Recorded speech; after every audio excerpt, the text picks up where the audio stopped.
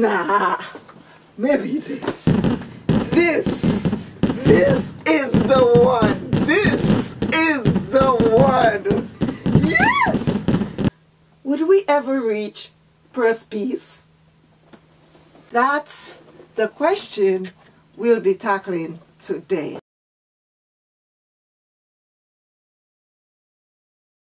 Hi guys! Welcome to my channel. As you guys know, on this channel, Sustainability Matters and we embrace imperfect sustainability. So I'll leave you some tips on how you could be imperfectly sustainable. So today, this is today's outfit. And I'm trying to figure out which bag, hmm, I should wear with my outfit today. Hmm, so my outfit has green. Huh, so maybe this would work. Yeah, maybe this would work. Mm, no. Maybe green and green would not work. How about this one then? Maybe this one? No? No?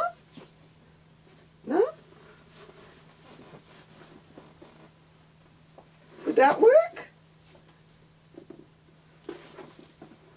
How about this one? Yeah, this one looks nice. I mean, it's tan. It could work with anything, right? Hmm. Maybe, maybe, maybe this one would work. Maybe this one. Black goes with anything, and I'm feeling the vibe. Yeah. Oh no, maybe a smaller one, this, this one? Probably? Mm, no, I think maybe we need something with a bit more, some hardware, hardware. But this, yes, this is perfect. Gold, and I have gold rings, you know. Yeah, this is, but I already have gold, but then black. Yeah. Mm, no, let's try, let's try maybe silver. Yeah, this is nice and slouchy and yeah, this could work. Yeah, man, this could work. See? Fits good, right?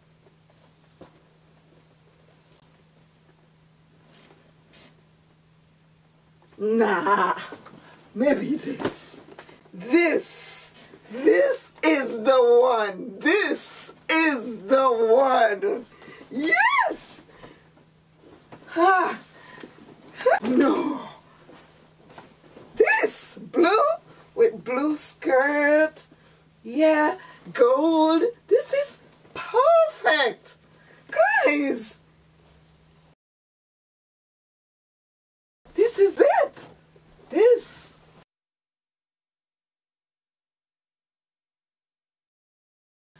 Would we ever reach purse peace? That's the question we'll be tackling today. I love me a good purse, a good vintage purse, as you could see. And the better the quality, yeah, you got me at quality, you got me at vintage. But what I've noted in today's climate of overconsumption of the weekly churning out of the newest bag, be it it bag or non-it bag, it's a never-ending cycle. It's like a rat on a Ferris wheel. It's it just keeps going and we are bombarded every single time I go on YouTube. Oh my god, this I'm so excited about this.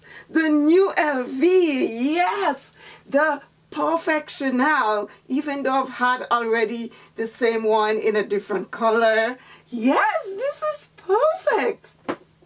Guys, it appears that some people One, because of the fact that they're being paid, they're getting it often cheaper, discounted, or for free.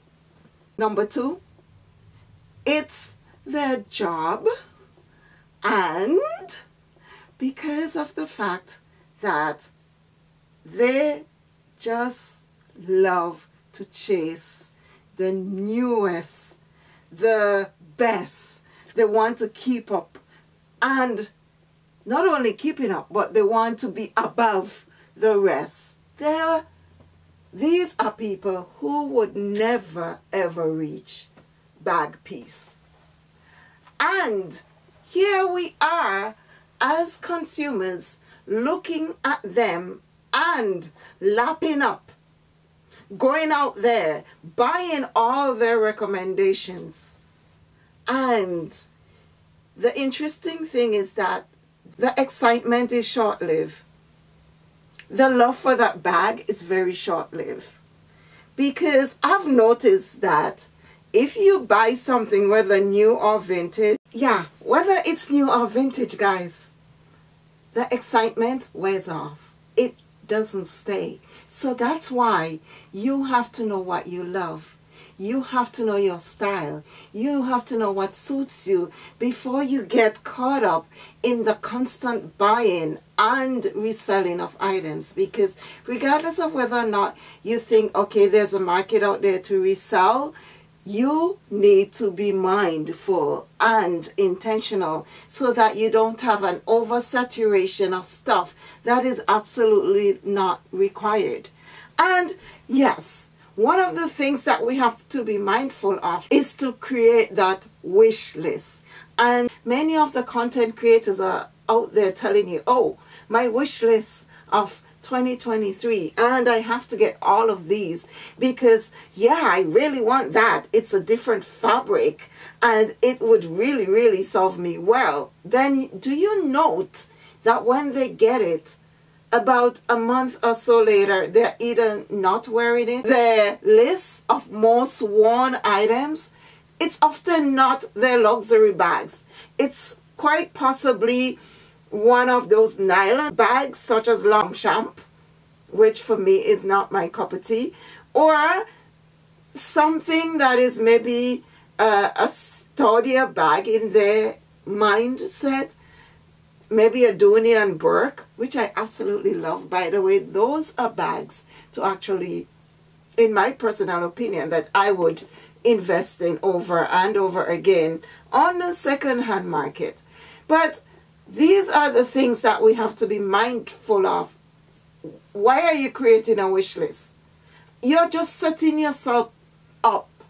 You're setting yourself up for over consuming because your favorite YouTuber created a wish list.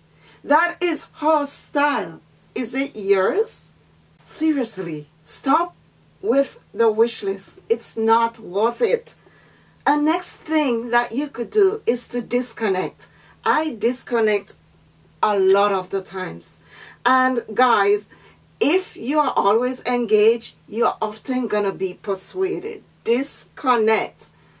Another thing that you would note that I don't do I, I don't do it often, only when I do not have sufficient lighting and the sun goes down you would rarely see my display items. Well, over here, that's unfortunate because this is the direction I mostly shoot.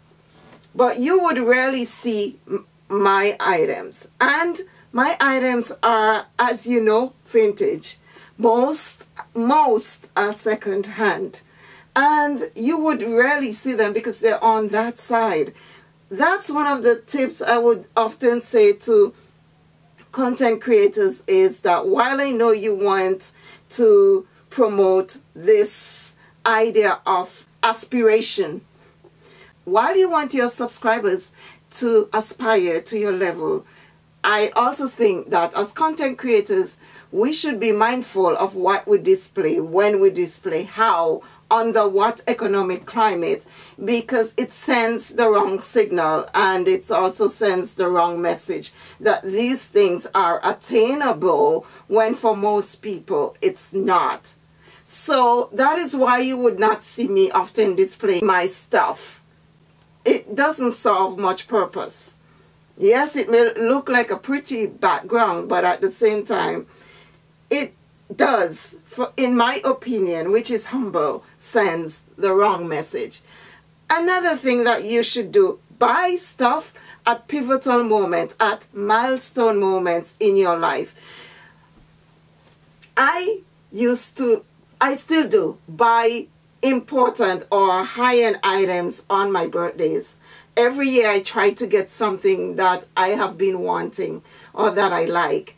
And for my age, I should have over 50 or so bags in my collection. I don't.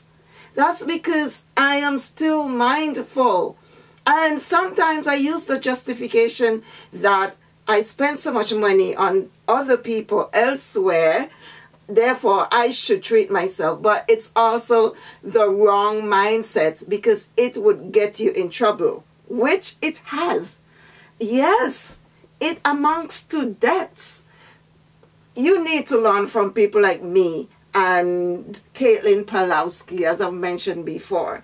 Honestly, buy stuff at milestone moments, your graduation, your birthday, and if you do, at least that's like once per year especially when it comes to your birthday. I've seen like content creators, young ones on YouTube, they have over a hundred bags. Wow, that's a lot of birthdays. Wow, really? Wow, those are a lot of special moments. And another thing that we have to be mindful of is that the number of items we have the different bags for the different occasions, they are not absolutely necessary.